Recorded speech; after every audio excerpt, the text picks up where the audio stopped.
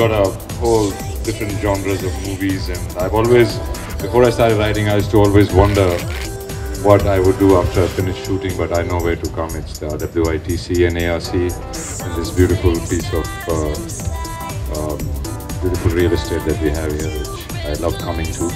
I'm uh, my movie Highway releases on 21st of Feb, uh, which is uh, directed by Imtiaz Ali, and uh, it's a great film, and then many more to come.